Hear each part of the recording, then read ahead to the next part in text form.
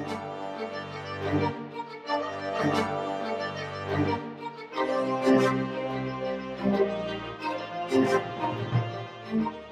guys, Mr. Klein here with our lesson on Athens and democracy. In this video, we're going to talk about Athens, the city-state in Greece, and the democracy created in order to govern the city-state for about 100 years and its permanent impact upon us. Now, whenever we think of ancient Greece, we usually might think of, you know, things like Hercules. We might think of, you know, the, the Spartans at 300, though we'll talk about Sparta in the next lesson. They're not Athenians. In fact, they were pretty opposed to the Athenians for a good long while. And also things like the Olympic Games. Uh, whoa, whoa, whoa, watch out there, which actually this actually wasn't from the Olympics. I just wanted to use this video footage. Anyway, let's talk about why this little teeny tiny corner of Europe, okay, it, even today, it's one of the poorer countries in, in Europe. How did it have such a huge impact on the world? And that's what we're going to look at actually in this lesson. And throughout this unit, we're going to be talking about the Greek. So even though, like I said, it's a teeny tiny part of Southeastern Europe, Greece is very important in the history of the world because of all the ways it influenced us. Now, previously in our studies of world history, we talked about civilizations that were based on large rivers. They, were huge agriculture-based civilization. This was not the case for the Greeks. The Greeks lived in cities that were separated by mountains, so they weren't these broad river valleys where huge cities could be built. Rather, the Greeks had small towns that were in mountains and valleys, and they developed a pretty independent view of themselves. They saw themselves as members of their community first, rather than being Greeks overall. Whereas in other places, you might think of the in you know the Yellow River Valley, might think of themselves as Chinese or Sumerians in in Mesopotamia. Because of these mountains and this geography, it made direct trade between the city-states actually really difficult. But they still had a lot of trade and contact between the various city-states because they were on a peninsula. Okay, that's like an area of land that's surrounded on three sides by water. And really, it was really simple because they could just hop out and trade with other city-states and other cultures by sea. Okay, and as we look at this map of the Greek city-states, this is kind of at the beginning of the period which we're going to talk about. You see several of these city-states start forming up and popping up. Most important of which is the one we're going to actually talk about in this lesson, and that is Athens. And in our next section, we're going to talk about the Athenian form of government and democracy. So the largest of the city-states in Greece was the city of Athens, which today is the capital of the country of Greece. And it was located on the coast of the eastern side of Greece itself. Athens had a large population and was ruled by a group of wealthy members of the Athenian society. They were oligarchs. Okay, so because they owned most of the land and they were most they had the most money, they thought they were to rule the city-state. Now, over the course of 150 years as the city-state grew mainly through trade, the Athenian people demanded more rights to have say say in their government, especially as trade made many people as wealthy in Athens as the ruler. So they were like, you know what, I got just as much as cash to throw around as you. Why should you be telling me what to do? Eventually, after a series of revolutions and bitter infighting, including a guy named Draco who would have you put to death if you were just standing around doing nothing alongside the sidewalk, eventually one of the oligarchs who took power, his name was Cleisthenes, and we'll look at a picture of him in a second,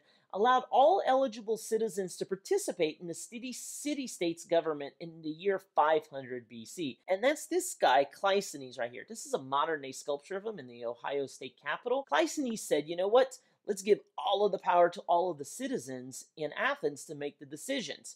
And with that, the first democracy was born. And in our next section, what we're going to do is we're actually going to talk about the structure of Athens' democratic government. So how did the Athenian democracy work? Well, it was in many ways complicated, but actually very simple. And this is where a graphic organizer is going to be at. So I'm going to break it all down for you. Athens government was what we call a direct democracy.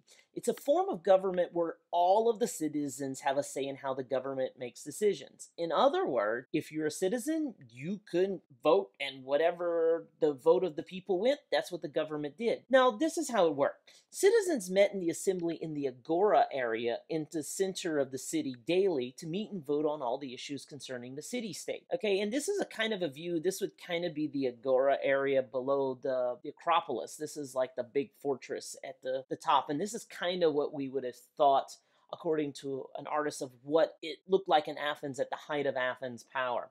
And so down here, the citizens would meet and discuss and vote on issues. Any citizen could stand up in the assembly and bring an issue for people to discuss and vote on. That's where we're going to start with our graphic organizer right here. So the citizens of Athens, all citizens, in which we will define what exactly a citizen is later on in this lesson, met in the assembly, and their job was to create the laws. So whatever the people talked about, whatever they decided on, was what would happen. In addition to the assembly, it became very, very quickly apparent that just an assembly wouldn't work. In fact, uh, Athens had over 350,000 people in there. So that's like a pretty big city, even by American standard, you know, and having all eligible citizens getting together to vote. You can't just run a city just like that. So in addition, Citizens formed councils and courts chosen actually at random from a pool of citizens who volunteered to serve. Okay, so they would, if you wanted to be a judge or something like that, you had to work in the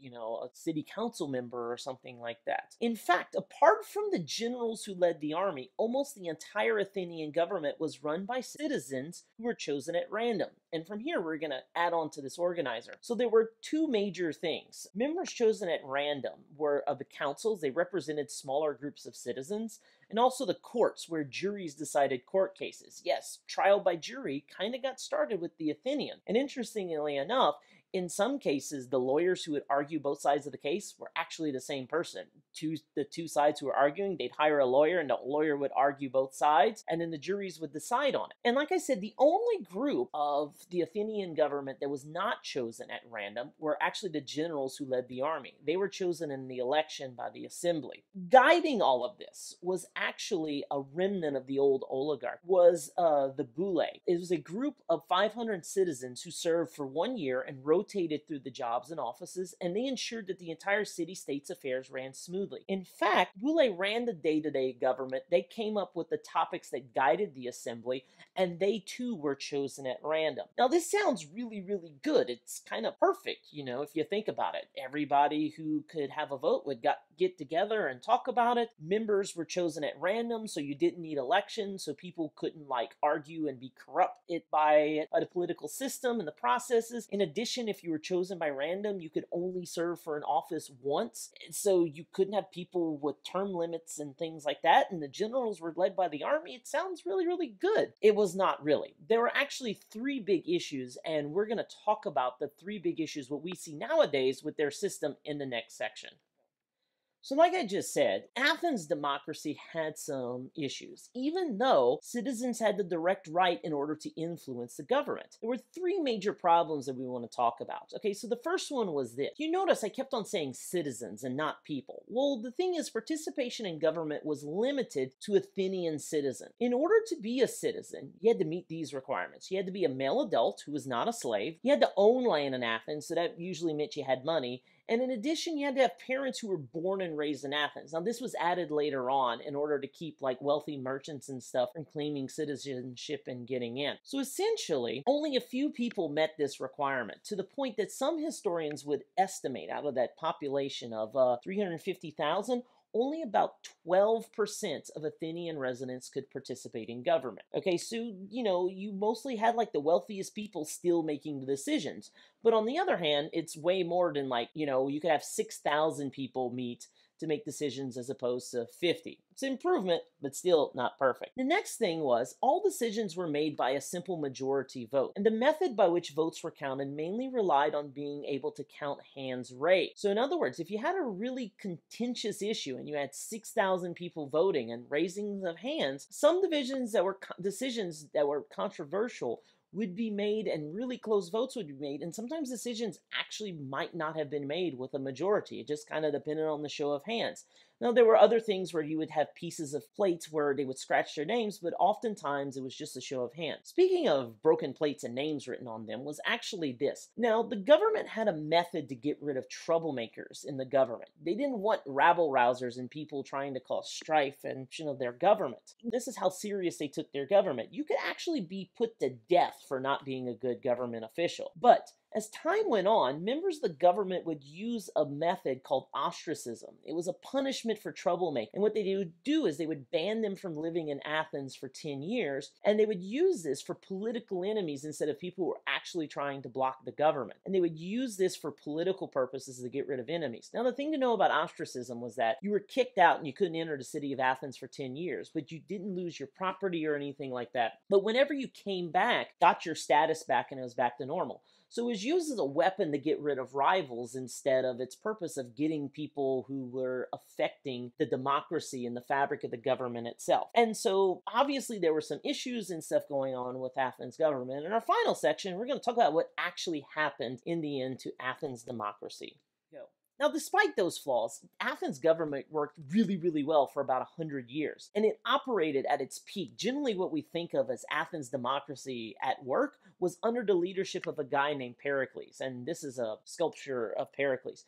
Pericles was a great public speaker, a great political mind, a great general, military strategist, and all this stuff. Pericles helped Athens, and under his leadership and with the help of their Greek city state allies, defeated the Persian Empire. Later on, he built Athens into an empire and had it square off with their greatest rival, Sparta, which we'll talk about in the next lesson, and in the beginning of the 30 year long Peloponnesian War. Pericles died of an illness at the beginning of the Peloponnesian War, and as a result, Athens' democracy didn't work as well. All those political factions and arguing I talked about kind of rose up. And they lost to Sparta in the Peloponnesian War, who took away the democracy and put their own puppet government back in. Didn't take long for democracy was restored, but it continued to decline until it was permanently wiped out in 322 BC by invaders. Despite this, this brief experiment in democracy is considered to be the ideal standard for all governments to attempt to meet even to this day, even despite all of its flaws. We think of these great people, these brilliant minds like Pericles right here, standing and talking, talking about important political decisions and coming to compromises and voting on it, that every person had the right to get up and speak. Decisions were made by the people